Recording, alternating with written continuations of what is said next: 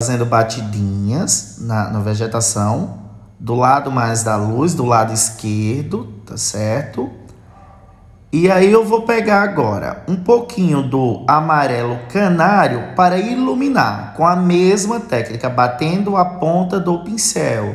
Do mesmo lado também, tá, gente? Do lado, mais do lado esquerdo, só para dar aquele tom mais clarinho na vegetação. E olha que lindo está ficando.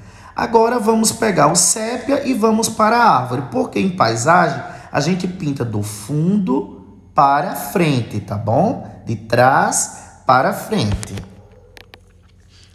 Peguei o sépia, vou utilizar uma esquinha do branco também, de um lado dela, né? Do lado da luz da vegetação, para dar aquela clareada, tá? E aí eu já vou fazer batidinha com o vermelho carmim ou púrpura no nosso IP, tá bom? Com o mesmo pincel número